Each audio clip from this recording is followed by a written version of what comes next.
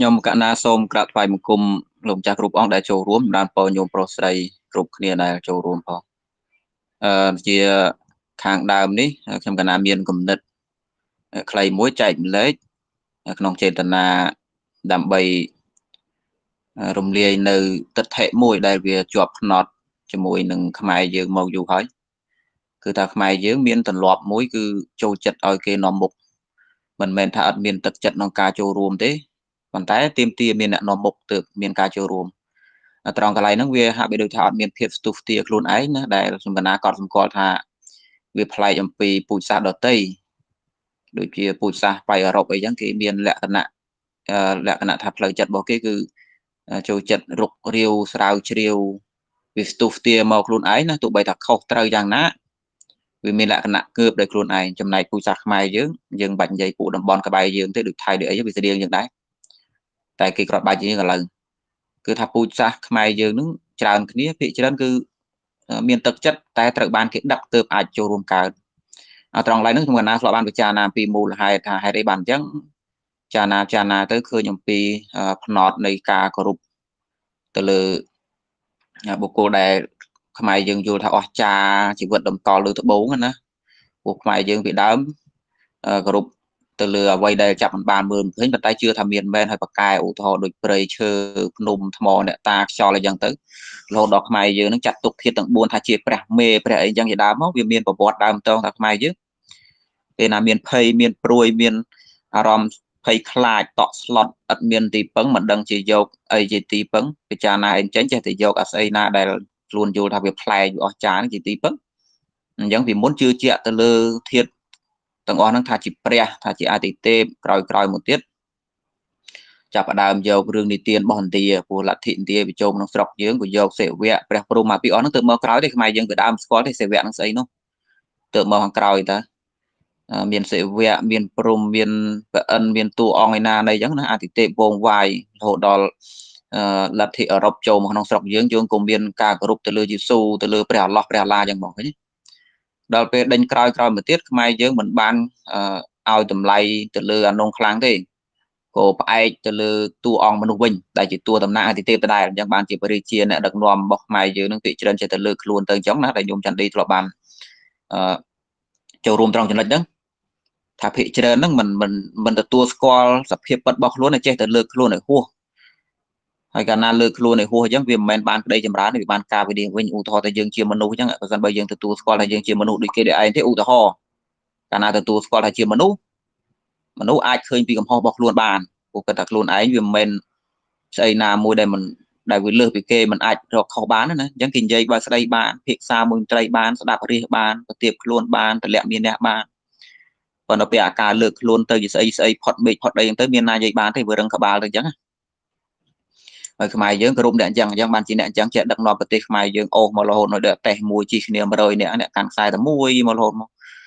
ផ្លាក់ផ្លើកផ្លាក់ផ្លើកមកអីខ្លះអញ្ចឹងទៅចែកដនផ្លាក់អីខ្លះទៅមកដល់ឡើងតអង្គគេឯងដែរមិនបាត់ប្រទេសគ្រាន់បើចាំបន្តិចអាចារ្យនោះក៏មានការគ្រប់លើមេបារោគមុខឃើញដូចគ្នាអញ្ចឹងបានជាវិនិច្ឆ័យមកតឥឡូវហ្នឹងតែខ្មែរយើងគ្រាន់បើនៅសល់ខ្លះទោះជាយ៉ាងហ្នឹងក៏ដោយអាផ្នត់នៃការគោរពទៅលើបរិជាហ្នឹងបើទោះបីថាក្រោយមកទៀត ម៉ែយើងលែងដឹងថាអតិថិវាស្អីលែងជឿជាក់ទៅលើអតិថិវាស្អីក៏នៅមានផ្នត់នៃការគោរពទៅលើអ្នកដឹកចំោះដូចថាមេបករហូតដោយប្រធានបកឬក៏វីរៈបរោះឬក៏តួស្អីបែកមែកបែកធៀងមកជាអាយដល់ទៅហើយទៅសូម្បីតែស្ដាប់ធម្មទេសនារបស់លោកក៏ត្រូវតែមានអ្នកដឹកចំោះលើថាអាយដល់នេះអាយដល់នោះណាអឺចាំចាំផ្លេចមានអ្នកមកគូសទ្វាអីពេលហ្នឹង những cái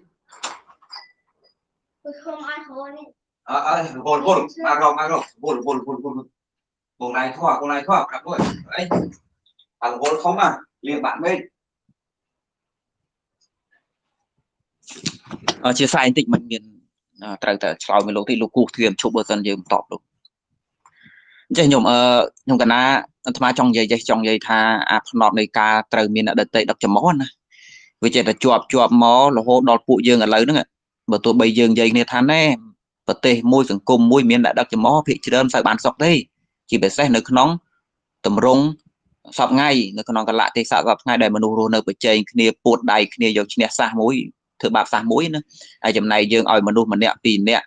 ប្រើការទុកចិត្តថាគេគ្រាន់បើអីចឹងជាដើមជឿជាក់លើគុណធម៌ជឿជាក់លើចំណេះដឹងជឿជាក់លើស្អីស្អីចឹងទោះជាយ៉ាងណាក៏ដោយនៅតែមិនបានសុខចឹង គឺវាមិនស្រួលទេឃើញភាពជាក់ស្ដែងគឺយើងរងទុកវេទនាទេអឺ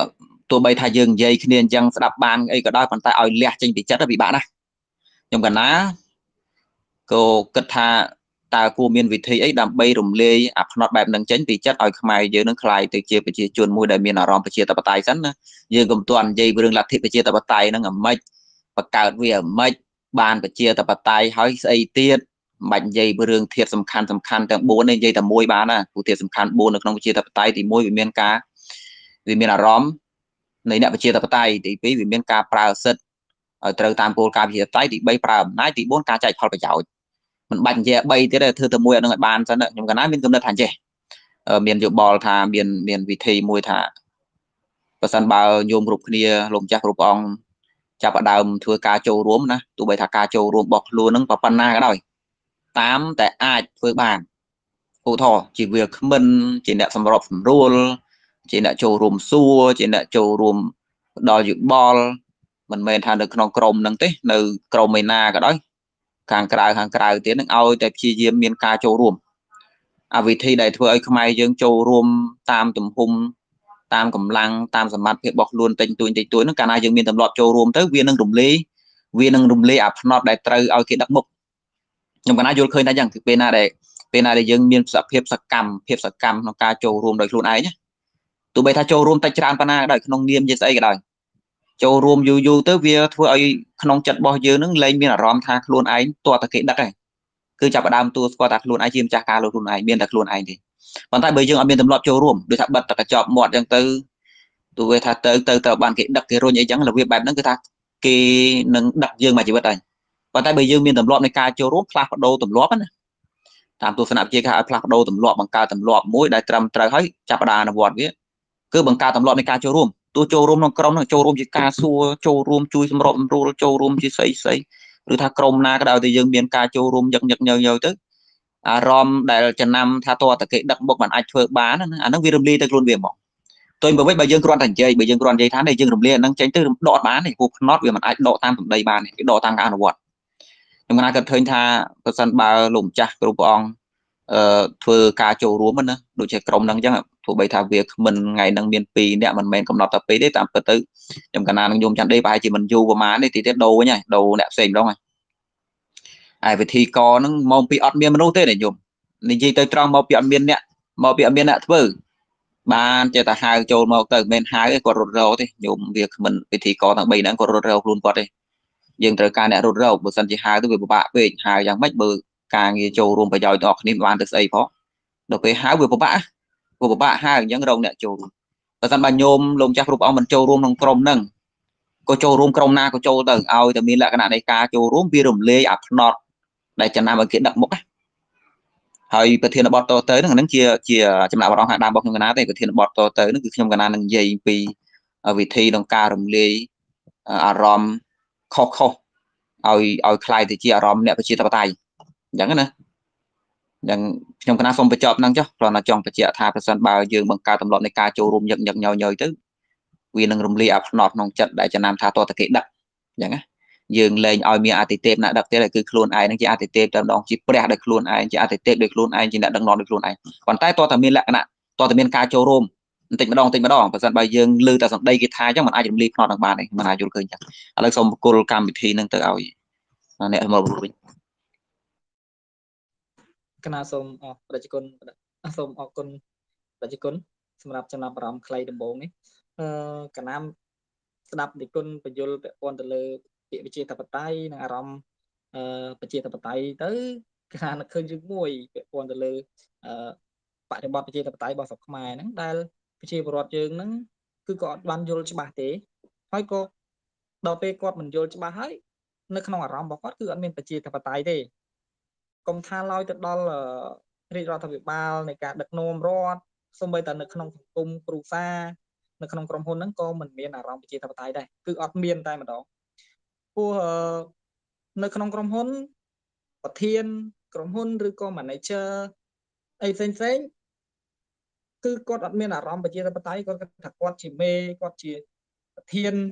អីចឹងទៅដល់ពេលអញ្ចឹងគាត់គាត់បំបិតសិទ្ធអីចឹងបំបិតការបញ្ចេញមតិយោបល់របស់អឺបុគ្គលិករបស់គាត់ឬក៏ថ្នាក់ក្រោមរបស់គាត់នៅក្នុងគ្រួសារក៏ដោយគាត់អាងជាគាត់ជាឪពុកគាត់ជាអ្នកមេគ្រួសារអីផ្សេងផ្សេងអញ្ចឹងសមាជិកនៅក្នុងគ្រួសារទាំងអស់មិនមានសិទ្ធិតវ៉ាជាមួយគាត់មិនមានសិទ្ធិបញ្ចេញមតិយោបល់ទេប៉ុន្តែវាមិនមែនទាំងអស់វាមានខ្លះមានមានមាន ភាគតិចដែលថា free នៅក្នុងការទទួលយកមតិយោបល់អំពីសមាជិកនៅក្នុងគ្រួសារឬក៏សមាជិកនៅក្នុងក្រុមហ៊ុនហើយមួយទៀតពាក់ព័ន្ធទៅលើអារម្មណ៍ប្រជាធិបតេយ្យហ្នឹងភាគច្រើនថ្នាក់លើថ្នាក់លើនៅក្នុងក្រុមហ៊ុនហ្នឹងថ្នាក់ដឹកនាំនៅក្នុងក្រុមហ៊ុនហ្នឹងក៏ដូចជាមេគ្រួសារហ្នឹងគាត់មានអារម្មណ៍ថាអឺអ្នកក្រោមគាត់ហ្នឹងគឺมันមានចំណេះដឹងស្មើគាត់ឬក៏มันមាន លទ្ធភាពអីស្មើគាត់ត្រូវទៅតវ៉ាជាមួយគាត់ទេ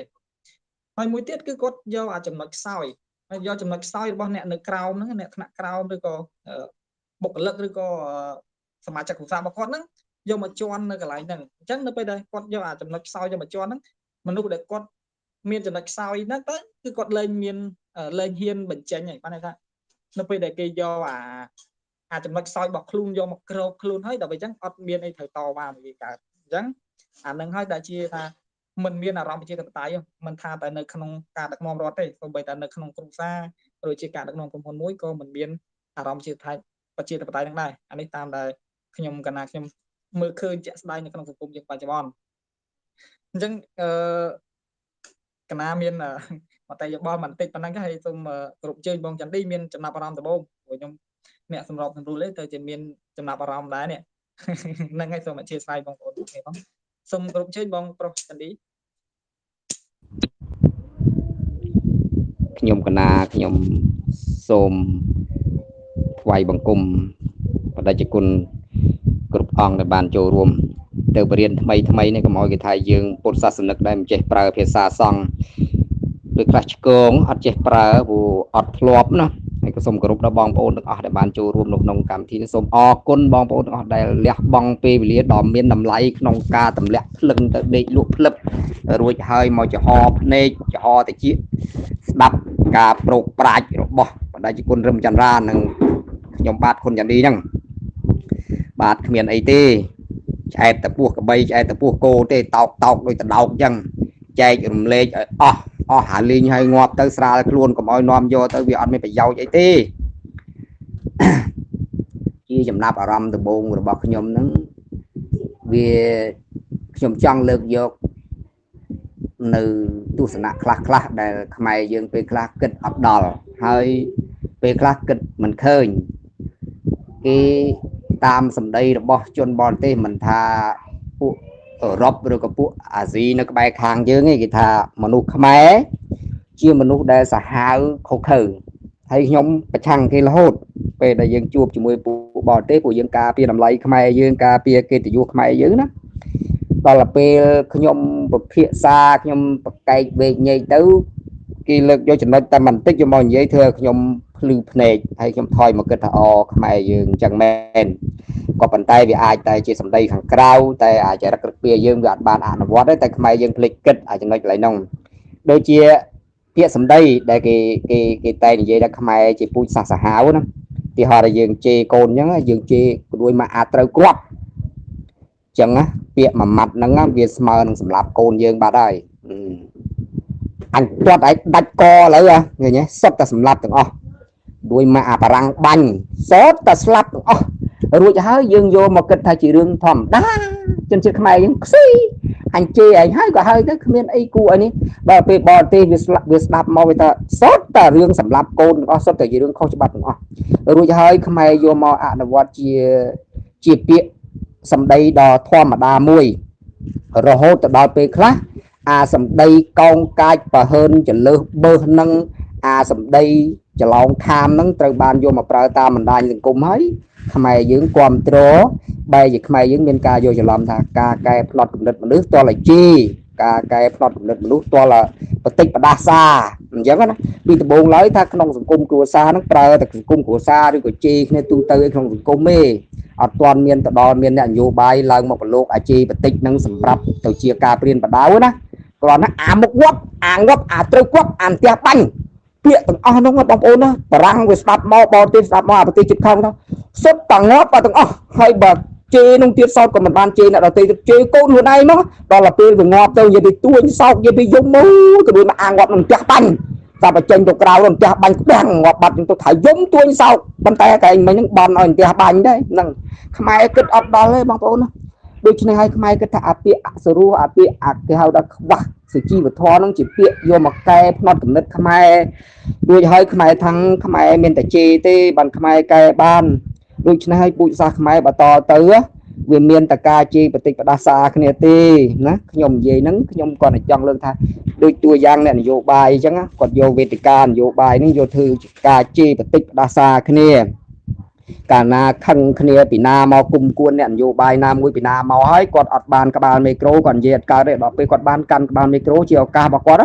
គាត់ចូលម្នាយគ្នាគាត់ជេរគ្នាមើលងាយមើលថោកគ្នាហើយគាត់អានៃសកម្មជនរបស់គាត់ហ្នឹងខាងក្រោមហ្នឹងផ្ទះដៃប្រាវអបអសាទរហើយគាត់ជេរណាគាត់ជេរតែខ្មែរគ្នាឯងហ្នឹង ហើយដល់ពេលបរទេសវាមើលមកវារឺតទ្រូងអាហ្នឹងអាបរទេសវារឺតទ្រូងអាប្រភេទបរទេសដែលគេមិនចង់បានខ្មែរប្រភេទបរទេសដែលគេមិនរំលោភបំពានខ្មែរគេជាមើលមកយកខ្មែរមិនក៏ដើរខុសផ្លូវអញ្ចឹងដើរភ្លៀងផ្លូវអញ្ចឹងខ្វះសុជីវធម៌ណាសម្ដីអសរោះស្អីស្អីណាក្នុងនាមជាអ្នកនយោបាយពេលខ្លះមិនគួរណាយកវេទិកាសម្រាប់ចែកអសញ្ញាប័ត្រសម្រាប់មកសម្ពោធនេះសម្ពោធនោះឬធ្វើវេទិកាសម្រាប់ចែកអំលេចចំណេះដឹងទៅយើងជេរបន្តិចប្រសាដាក់មេក្រូឲ្យគេស្ដាប់ ដល់អញ្ចឹងបរទេសវារួចទៅទ្រឹងអាបរទេសដែលវាអត់ចង់បានយើងបាទអាចំណៃអាបរទេសដែលវាចង់បានយើងវាធីងក្តិតផ្ទះផាក់ផាក់ផាក់វាថាទៅឲ្យចូលឲ្យចូលធ្លុងឲ្យចូលក្នុងច្រកអញអញចង់បានណាអញចង់បានដល់ពេលកាន់មេក្រូជេរគ្នាបន្តិចប្រសាគ្នាកុំឲ្យមានសាមគ្គីបាននេះគ្រាន់តែជាជ្រុងតូចមួយនៃការគិតរបស់ខ្ញុំឯណាដែលយើងការប្រើសម្ដីអសរោះការប្រើសម្ដីជេរបន្តិចផ្ដាសាគ្នា ទៅជារឿងមួយកែលម្អគ្នាហ្នឹងយូរយូរគេ គាត់នៅក្នុងសង្គមគ្រួសារហ្នឹងយើងមើលឃើញមិនឃើញភាពខុសឆ្គងរបស់យើងផងយើងថាធម្មតាជេរកូនអាឡានបុកចេញទៅមុខផ្ទះឡានបុកផាំងងាប់រួចហើយកូនហ្នឹងយំទៅហឹងទៅតាមពិតយើងចង់ឲ្យកូនងាប់តាសុទ្ធតែជាពាក្យសម្ដីអសុរោះហើយគ្មានក្រមសីលធម៌ទាំងអស់សូម្បីតែម្ដាយឪពុកជេរកូនក៏ដោយហើយខ្មែរយើងកែអត់ចេញទេណាបងប្អូនណា ពីព្រោះអាហ្នឹងគេគិតថាធម្មតាធម្មតាតចដូនកូនចៅតទៅពូជម្បោខ្មែរក៏នៅអញ្ចឹងរួចហើយដល់ពេលយើងនិយាយយើងចេះអ្នកខ្លះគេចេះថាបងឯងមិនមើងងាយខ្មែរម៉ែអីចឹងមិនមែនធ្វើបដិវត្តនៅលើអាផ្នត់កំណត់ចុងចុងនេះគាត់គាត់ថាបើកែបានក៏វាល្អដែរអញ្ចឹងណាកែបានគឺល្អបំផុត ឥឡូវយើងចូលគោលការណ៍ទី2ឈប់និយាយអាហ្នឹងគ្រាន់តែឲ្យបងប្អូនធ្វើការពិចារណាទៅអាការជាបតិបដាសាគ្នាវាមិនមែនជាការកែលម្អគ្នាទេវាបង្កើតតែកំហឹងដាក់គ្នាទេសំបីតកូនខ្លួនឯងហ្នឹងតែកណាឪម៉ែជេរខ្លាំងហើយសូវហ៊ានបតិបដាសាម៉ែឪវិញមកពីអីសំដីម្ដាយពុកហ្នឹងហើយវាជះអតិពលទៅលើកូនហ្នឹងហើយដល់ពេលវាមានកូនទៅកូនបន្តកូនទៅទៀតដូចកម្មដូចពៀដូចផលវាសាងមកអញ្ចឹងណាហ្នឹង មួយទៀតខ្ញុំសូមលើកយកនៅចំណុចមួយតាក់ទងទៅនឹងការធ្វើនយោបាយរបស់ខ្មែរយើងហើយនឹងអ្នកដើរតាមអ្នកនយោបាយបន្ថែមពីលើបដិជននៃព្រះអង្គមានសង្ឃនិកាមិញហ្នឹងខ្មែរយើងបងប្អូនណាពេលឡើងមកដំបូងណានិយាយពីស្មោះស្ម័គ្រនឹងជាតិណាបងប្អូនអើយនិយាយពីឡើងមកគោលការណ៍លទ្ធិប្រជាធិបតេយ្យហ្នឹង ទោះបីថាបើដាក់មកវាអត់មានតម្រង់ពិតប្រកបណាមួយក៏ដោយលើកយកអាគោលការណ៍គ្រឹះរបស់ខ្លួនមកអួតនិយាយពីថាធ្វើតាមនិយាយពីស្រឡាញ់ណាប្រជាធិបតេយ្យអ្នកនយោបាយមួយមួយគ្រប់អ្នកនយោបាយទាំងអស់ចង់បានប្រជាធិបតេយ្យណាអាហ្នឹងខ្ញុំនិយាយរឿងចង់បានណាដល់ទៅពេលបានហើយបានហើយទៅខ្លាចគេធ្វើបាតកម្មខ្លាចគេនឹងមកដណ្ដើមអំណាចខ្លួនឯងទៅវិញតាំងចាប់ផ្ដើមរដ្ឋបិទរដ្ឋបិទអាជីវភាពនយោបាយរដ្ឋបិទអាសិទ្ធិសិទ្ធិនៃការធ្វើនយោបាយនឹងចេញពីច្បាប់តាមរយៈច្បាប់ ចងច្បាប់នេះច្បាប់នោះច្បាប់នេះច្បាប់នោះហើយកាលពីខ្លួនមិនទាន់បានខ្លាយជាអ្នកនយោបាយមិនទាន់បានដឹកនាំប្រទេសជាតិនេះចង់បានអូ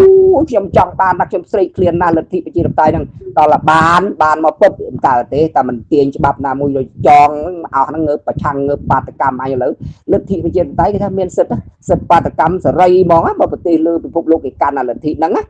គាត់គេមានគោលការណ៍របស់គេច្បាស់លាស់ថាធ្វើបាតកម្មនោះមានកម្រិតបណ្ណាប្រើអីប្រើបដាឬក៏ស្រែកហូជេរម្រាយនាយករដ្ឋមន្ត្រីឬក៏ត្រូវធ្វើដំណើរប្រហែលចម្ងាយប្រហែលដើម្បីអាជ្ញាធរឯកាពារដល់ពេលស្រុកយើងនេះបងប្អូនពេលបានឡើងកាន់អំណាចទឹកអាលទ្ធិជាតិបតៃប្រហែលកវត្តចោលទៅគៀនអញ្ចឹងទាំងអស់ ភ្លេចខ្លួនណាបងប្អូនធ្វើនយោបាយខ្មែរយើងចឹងភ្លេចខ្លួននៃគ្រោះថ្នាក់ដល់ជាតិណាធ្វើអញ្ចឹងអាការមិនទាន់ល្បីបងប្អូនឯងញាប់ញាប់ញាប់និយាយពីគោលការណ៍លទ្ធិប្រជាធិបតេយ្យថាពេញខ្លួនស្រឡាញ់ណាស់ចង់បានសិទ្ធិសេរីភាពណាស់ចង់រកសិទ្ធិសេរីភាពឲ្យប្រជាពលរដ្ឋណាស់ឡើងមកធ្វើនយោបាយបានតែមួយឆ្នាំពីរឆ្នាំរៀងតែល្បីខ្លួនតែបន្តិចភ្លេចគោលដៅភ្លេចអីភ្លេចគោលដៅអាភ្លេចផ្លូវដើររបស់ខ្លួនឯងទៅអញដើរផ្លូវណាវែងដល់ពេលមានគេដើរតាមច្រើនចំ ដល់ពេលដើរតាមចោលក៏លេខមួយក្រោយរាប់ម៉ឺនអ្នកយ៉ែដូចជាមិនស្រួលទេវើអាចប្រាស់ខ្លួនមកដេកខ្លះបានណាព្រោះមានអ្នកដើរទៅហ្នឹងអត់ដល់គោលដៅអាកន្លែងហ្នឹងអាដល់គោលដៅហើយចងរឹតច្បាប់ទាញយកច្បាប់អញ្ចេះច្បាប់ចូលអាងដល់ខ្លួននេះជានីតិប្រតិបត្តិចេះតែស្នើច្បាប់ទៅទៅព្រះមហាក្សត្រក៏ក្រមអំណាចរបស់នីតិប្រតិបត្តិបញ្ញត្តិជាមួយនឹងតុលាការនោះក៏ក្រមអំណាចចេះតែរឹតចេះតែចាប់ចងអា រួចហើយអាលទ្ធិប្រជាធិបតេយ្យនឹងរួញបាននៅទៅលើបបោមាត់ហ្នឹងគឺខ្វះសិទ្ធិសេរីភាពសម្រាប់ប្រជាពលរដ្ឋដែលនោះអាអ្នកដែលត្រូវរងគ្រោះនោះហ្នឹងអញ្ចឹងហើយខ្ញុំមិនទាន់និយាយទៅដល់នាយករដ្ឋមន្ត្រីឬក៏អ្នកណាដែលបានកាន់អំណាចទេខ្ញុំនិយាយទៅពីរឿងមនុស្សខ្លះឡើងមកធ្វើនយោបាយហ្នឹងមិនអីត្រឹមតែមេបកហ្នឹងឡើងមកត្រឹមតែមេបកហ្នឹងចាប់ដើមភ្លេចភ្លាវផ្លូវហើយដល់អញ្ចឹងទៅវាដើរអីក៏ដល់គោលដៅទេបងប្អូនហើយបងប្អូនពិចារណាឡើងវិញអំពីពលរដ្ឋខ្មែរយើង សប្ងៃយើងមើលប្រមើលមើលទៅលើគណៈបកនយោបាយជិត40គណៈបកប៉ុន្តែអត់ទាន់មានឃើញគណៈបកនយោបាយណាមួយលើកយកគោលការណ៍លទ្ធិប្រជាធិបតេយ្យយកជាតម្កល់ជាជាច្បាប់រួមមួយទេវាមានតែគោលការណ៍វាមានតែយន្តការរបស់ខ្លួនហែកចែកគ្នាថានេះអញល្អនោះអញល្អបាត់ឯកភាពជាតិហ្នឹងដូច្នេះហើយណាគណៈបកប្រជាជនដែលជាគណៈបកជាប់ឆ្នោតគណៈបកដែលគាត់កាន់អំណាចសប្ងៃហ្នឹងគាត់ធីងក្តិតឡើងលើនោះអស់អញអស់ឲ្យបង្កើត300បកទៀតក៏មិនឈ្នះអញដែរអាហ្នឹងអញ្ចឹង ដូច្នេះហើយចង់ស្ដារប្រទេសជាតិបាននោះវាគ្មានអីទេដើរទៅតាមទម្រង់ណាមួយឲ្យវាពិតប្រកបខ្ញុំបានជួបជាមួយអ៊ំម្នាក់នៅលើឡានមកពីពេញពីថ្ងៃមិញបែកអូហូស្ទឹងតិចចុះ គាត់ថាដើម្បីជួយប្រទេសខ្មែរឲ្យរីកចម្រើនបានដើម្បីជួយប្រទេសខ្មែរឲ្យដកផុតពីស្អីស្អីស្អីស្អីបានទាំងអស់ហ្នឹងមានតែគោលការណ៍លទ្ធិប្រជាធិបតេយ្យទេបានវាទៅរួចគឺវារួមទាំងប្រជាជនរួមទាំងរដ្ឋដល់តែពេលប្រជាជនមានកំណត់ប្រជាធិបតេយ្យហើយរដ្ឋវាមិនមានបំណងក្នុងការធ្វើប្រជាធិបតេយ្យដូច្នេះហើយវាអត់ទៅរួចទេខ្ញុំបានសួរគាត់ដែរអ៊ំមានបកនយោបាយណាអាចទៅរួចទេគាត់កវីតែក្បាលហើយគាត់កវីក្បាលប្រជាពលរដ្ឋមួយកវីក្បាលហើយអញ្ចឹងប្រជាពលរដ្ឋមានប្រមាណលានទៀតតែកវីក្បាលដូច្នេះហើយយើងមើលឃើញថា លទ្ធិប្រជាធិបតេយ្យនៅក្នុងស្រុកខ្មែរយើងវាកើតមិនទាន់បានទេវាបានទៅលើច្បាប់រដ្ឋធម្មនុញ្ញដែលចែងមកឲ្យមានបកនេះបកនោះរាប់រយបកចឹងទៅបង្កើតតនិន្នាការនយោបាយឆ្លោះទៅគ្នានឹងវល់ពេញទៅហាងកាហ្វេនឹងបោះអញល្អបោះគេល្អនឹងវាធ្វើឲ្យបែកបាក់គំនិតឯកភាពជាតិរបស់ខ្មែរយើងនឹងតទៅអនាគតទៀត ខ្មែរយើងចង់ដោះស្អីមួយក៏ងាយរួចដែរក្នុងនាមខ្ញុំជាវាគ្មិនជាអ្នកនិយាយនោះបានត្រឹមតែបាននិយាយទៅការអនុវត្តវាទៅលើនីតិប្រតិបត្តិឯណោះដូចថាយើងគ្រាន់តែមានតម្រុយផ្លូវមួយថាបើដើរក្នុងផ្លូវនោះវាមិនបានជោគជ័យទេតែបើដើរក្នុងផ្លូវកំណត់ឯកភាពសាមគ្គីជាតិនេះអានឹងបានទៅរួចហើយការដាក់លទ្ធិប្រជាធិបតេយ្យយើងដាក់ទៅម៉េចបើអ្នកដឹកនាំអ្នកនយោបាយខ្មែរយើងឲ្យតែបានដល់ចំណុចតាមតាន់ដល់គោលដៅភ្លេចខ្លួនបាត់ហើយហ្នឹង យកប្រជាធិបតេយ្យទៅវត្តចោលបាត់ហើយហ្នឹងបង្កើតតែកំណត់រឹងតឹងអាណាមិនស្ដាប់អញសត្រូវនឹងអញអាណាមិនស្មោះស្ម័គ្រនឹងអញសត្រូវនឹងអញដូច្នេះហើយពេលដែលដឹកនាំប្រទេសជាតិទៅវាតែងតែមានចំណុចខុសឆ្គងហើយនឹងគ្រោះថ្នាក់ដល់ជនរងគ្រោះគឺនរណាគឺប្រជាជនហ្នឹងហើយចំណុចកន្លែងនេះយើងខ្ញុំនឹងយកទៅបកស្រាយលម្អិតនៅក្នុងសម័យកម្ពុជាប្រជាធិបតេយ្យយើងត្រូវប្រើពេលយ៉ាងតូចក៏5ទៅ6សប្តាហ៍ដែរក្នុងការបកស្រាយតាក់ទងទៅនឹងរបបកម្ពុជាប្រជាធិបតេយ្យដែលធ្វើឲ្យខ្មែរយើងខ្ទេចខ្ទាំ ដែលធ្វើឲ្យខ្មែរយើងចុះខ្សោយដែលធ្វើឲ្យខ្មែរយើងស្លាប់ជីវិតប្រជាពលរដ្ឋរាប់លានអ្នករួចហើយចុងក្រោយបរទេសដែលញុះញង់ឲ្យខ្មែរឆ្លោះគ្នាហើយខ្មែរខ្លួនឯងដែលល្ងងខ្លួនឯងឆ្លោះគ្នាខ្លួនឯងនោះបញ្ចប់ទៅដោយសន្ធិសញ្ញាមួយយកกระดาษ4 5ស្លឹកមកចែកកូនចែកចៅមើលទៅរួចហើយបរទេសនៅក្បែរខាងក៏រួចខ្លួនទាំងអស់គ្នាទៅនេះជារឿងជ្រៅជ្រៅណាបងប្អូនបងប្អូនសកាសាវជីវដោយខ្លួនឯងបន្តទៅទៀតសូមចប់ចំណាប់អារម្មណ៍ដល់ខ្លីរបស់ខ្ញុំតែប៉ុណ្ណេះបាទសូមអរគុណហើយសូមជូនកម្មវិធីទៅអ្នកសម្របសម្រួល បាទសូមអរគុណដល់បងប្រុសសម្រាប់ចំណាប់អារម្មណ៍ខ្លីដំបូងពីសូមជម្រាបទៅដល់បដិជគុណហើយនឹងបងប្រុសផងនេះមានពេលវេលាច្រើនសម្រាប់ធ្វើការបកស្រាយទៅលើប្រធានបទក៏ដូចជាអ្វីដែលបដិជគុណក៏ដូចជាបងប្រុសបានរៀបចំសម្រាប់ការអធិប្បាយនៅរាត្រីនេះព្រោះយើងមានវាគ្មិនតែ2អង្គអ្នកទេហើយដល់ពេលអញ្ចឹងយើងមានពេលវេលាច្រើនអញ្ចឹងយើងអាចបកស្រាយទៅលើប្រធានបទបានក្បោះក្បាយហើយ អាចឲ្យបងប្អូនយល់កាន់តែច្បាស់ទៅលើប្រធានបទយើងហើយសង្ឃឹមថាកម្មវិធីនេះចូលរួមចំណែកអឺជាផ្នែកតូចមួយសម្រាប់ការយល់ដឹងអឺដល់បងប្អូនទាំងអស់គ្នាពាក់ព័ន្ធទៅលើបញ្ហាសាសនានិងរឿងនយោបាយក៏ដូចជាប្រវត្តិសាស្ត្ររបស់ខ្មែរយើង ដើម្បីកុំឲ្យបងប្អូនភ័ន្តច្រឡំមានការយល់ច្រឡំទៅលើប្រវត្តិសាស្ត្រព្រោះតាំងពីដើមរឿងមកអឺ ពាក់ព័ន្ធទៅលើរឿងប្រវត្តិសាស្ត្រនេះមានគេនិយាយច្រើនហើយ មានឯកសារក៏ច្រើនដែរប៉ុន្តែវាសុទ្ធតែជាឯកសារមួយដែលយើងមិនអាចទទួលយកបានណានៅពេលដែលយើងជាអ្នកដែលសិក្សាអំពីប្រវត្តិសាស្ត្រជំនាន់ជំនាន់ក្រោយនេះដូចជាបងប្រុសដូចជាវគ្គមិនរបស់យើងលោកអវីផ្សេងផ្សេងសុទ្ធតែជាអ្នកដែលសិក្សាស្រាវជ្រាវអំពីប្រវត្តិសាស្ត្រពិតហើយក៏ដូចជាបងប្អូនមួយចំនួននៅក្នុងក្រុមនេះគឺបានសិក្សាច្រើនទៅលើប្រវត្តិសាស្ត្រថ្មីថ្មីកន្លងមកនេះឃើញថា ប្រវត្តិសាស្ត្រមួយចំនួនមុននោះគឺមានការខ្លែងបន្លំមានការបំភាន់ច្រើនអញ្ចឹងវាធ្វើឲ្យខ្មែរយើងមានការភាន់ច្រឡំហើយក៏បានដោតផ្នត់កំណត់ទៅលើប្រវត្តិសាស្ត្រទាំងអស់នោះដល់ពេលអញ្ចឹងទៅវាធ្វើឲ្យខ្មែរយើងវង្វេងប្រវត្តិសាស្ត្រវាជាហេតុមួយដែលធ្វើឲ្យខ្មែរយើងមានការបែកបាក់ឯកភាពជាតិបែកបាក់សាមគ្គីជាតិក៏ដូចជាมันអាចរកផ្លូវមួយផ្សះផ្សាគ្នាបាន ហើយវាវាមិនអាចធ្វើឲ្យប្រទេសយើងរីកចម្រើនបានទេ សូម្បីតែពាក់ព័ន្ធទៅលើរឿងប្រជាធិបតេយ្យនេះគឺវាអាចនិយាយថាវាជារឿងមួយដែលចាំបាច់ណាស់ព្រោះទាំងអ្នកនយោបាយក៏ដូចជាប្រជាពលរដ្ឋគឺត្រូវតែយល់ឲ្យច្បាស់អំពីប្រជាធិបតេយ្យហើយត្រូវតែមានអារម្មណ៍ប្រជាធិបតេយ្យនៅក្នុងខ្លួនទៅប្រទេសជាតិយើងអាចរីកចម្រើនបានប្រជាជនដាស់តឿនជាញយញយថាត្រូវតែមានអារម្មណ៍ប្រជាធិបតេយ្យត្រូវតែមានអារម្មណ៍ជាអ្នកប្រជាធិបតេយ្យសិនទៅធ្វើអ្វីមួយទៅវារីកចម្រើនហើយវាសប្បាយចិត្តទាំងអស់គ្នាប៉ុន្តែវាជាបញ្ហាមួយទៀតនោះ ប្រជាពលរដ្ឋខ្មែរភាគច្រើនមិនបានយល់អំពីប្រជាធិបតេយ្យហើយបានយល់ច្រឡំទៅលើនិយមន័យក៏ដូចជាអត្តន័យនៃពាក្យប្រជាធិបតេយ្យដល់ពេលអញ្ចឹងទៅគាត់យកទៅអនុវត្តខុសអ្នកដែលអាចយល់បានអំពីទម្រង់ប្រជាធិបតេយ្យហ្នឹងក៏យកទៅធ្វើដោយបំពេញដល់ពេលអញ្ចឹងវារកផ្លូវមួយទៅថាធ្វើឲ្យមានប្រជាធិបតេយ្យនៅក្នុងប្រទេសយើងអត់បានហើយនៅស្របពេលដែលប្រជាពលរដ្ឋភាគច្រើនមិនបានយល់ដឹងអំពីប្រជាធិបតេយ្យនឹងទៀត វាធ្វើឲ្យមានស្ថានភាពដូចបច្ចុប្បន្នហ្នឹងតាំងពីយើងអ្នកសិក្សាប្រវត្តិសាស្ត្របានដឹងហើយថាពីមួយចំនួនពីមួយសម័យកាលទៅមួយសម័យកាល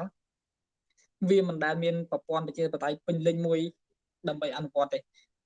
តិចឆ្លោះគ្នាអញ្ចេះតិចឆ្លោះគ្នាអញ្ចោះដូចបងមានចំណាប់អារម្មណ៍មិញថាមិន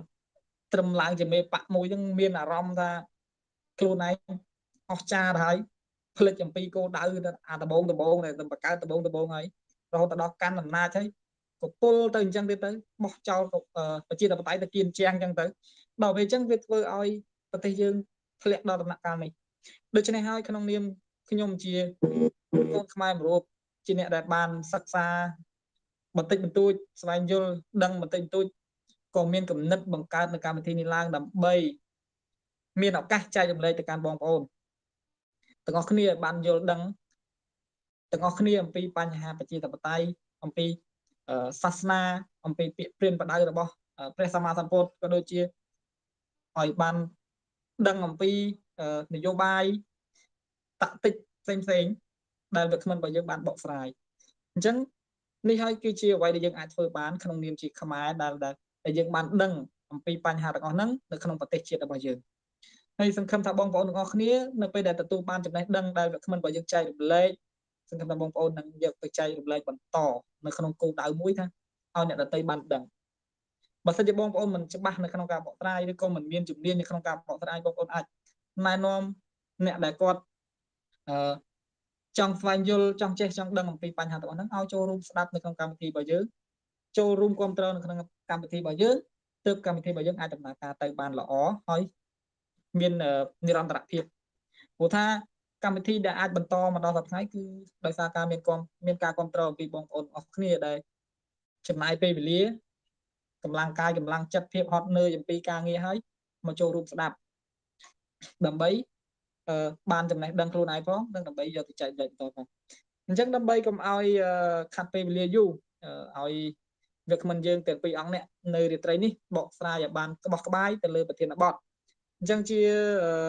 ដំបូងនេះគឺសូមគោរពនិមន្តបដិជនរាជតាធ្វើការបកស្រាយទៅលើប្រធានបទនៅរាត្រីនេះសូមគោរពនិមន្តនិគុណ